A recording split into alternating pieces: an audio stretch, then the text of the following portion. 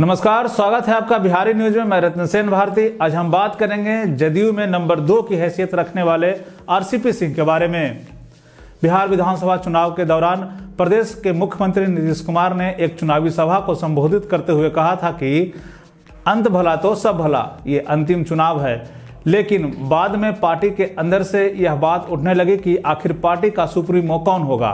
जदयू को आगे बढ़ाने को लेकर पार्टी के अंदर से कई तरह की खबरें निकलकर मीडिया में सामने आने लगी। जिसके बाद सीएम नीतीश कुमार ने अपने उस बयान का काट करते हुए कहा कि अंतिम चरण का चुनाव था, इसलिए ऐसा कहा था। लेकिन अब सीएम नीतीश कुमार ने अपना सियासी बारिश के तौर पर आरसीपी सिंह के नाम का संकेत दे दिया है। कहा जा रहा है कि शरद यादव के बाहर होने के बाद से आरसीपी सिंह जदयू में नंबर दो की सियासी हैसियत वाले नेता माने जा रहे हैं। वे मुख्यमंत्री नीतीश कुमार के खासम खास माने जाते हैं और साय की तरह उनके साथ रहते हैं। कहा तो यह भी जा रहा है कि बिहार में शायद ही ऐसा कोई फैसला हो जो नीतीश कुमार ने बिना आरसीपी सिंह के सलाह से किया हो। आरसीपी सिंह सिर्फ़ नीतीश कुमार के रणनीतिकार और सियासी सलाहकार ही नहीं, बल्कि उन्हीं के समुदाय, यानी कि कुर्मी समाज से भी आते हैं। आइए अब एक नज़र आरसीपी सिंह यानी कि रामचंद्र प्रसाद सिंह के राजनीतिक सफ़र के बारे में जान लेते हैं।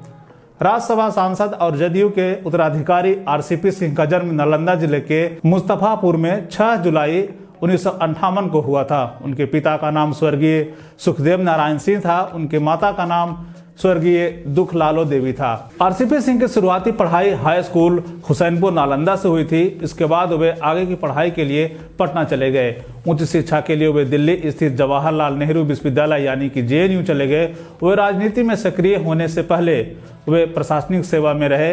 वे उत्तर प्रदेश कैडर में आईएएस रहे। वे रामपुर, बाराबंकी, हमीरपुर और फतेहपुर में जिलाधिकारी रहे। इसी दौरान आरसीपी सिंह और सपा के कद्दावर नेता बेनी प्रसाद वर्मा से इनकी नजदीकियाँ बढ़ी। बेनी प्रसाद वर्मा केंद्रीय संचार मंत्री थे तो आरसीपी सिंह उनके निजी सचिव थे। इसके बाद नीतीश कुमार रेल मंत्री बने तो बेनी प्रसाद ने नीतीश कुमार से आरसीपी सिंह का परिचय करवाया। उन्हें अपने साथ रखने की सलाह दी। नीतीश कुमार ने इसी के बाद उन्हें अपना निजी सचिव रखा। इतना ही नहीं, नीतीश कुमार जब मुख्यमंत्री बने तो वह पाँच सालों तक उनके प्रधान सचिव रहे, फिर उन्हें राजनीति में ले आए और अब नीतीश कुमार ने उन्हें राज्यसभा का सांसद बना दिया। अब इन दोनों नेताओं के बीच में एक अच्छी केमिस्ट्री बन गई है।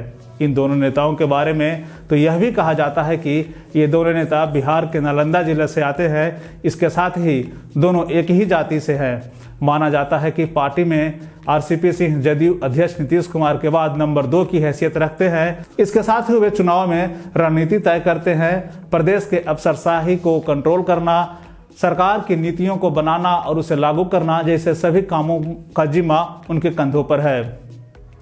इसीलिए उन्हें जदयू का चाणक्य भी कहा जाता है। यही वह कारण है कि मुख्यमंत्री नीतीश कुमार आरसीपी सिंह की तरफ़ पार्टी के उत्तराधिकारी के रूप में देख रहे हैं। बिहार से जुड़ी हुई और भी ऐसे ही ताज़ा तरीन वीडियो के लिए बने रहें बिहारी न्यूज़ के साथ। मुझे दीजिए इजाज़त। धन्यवाद।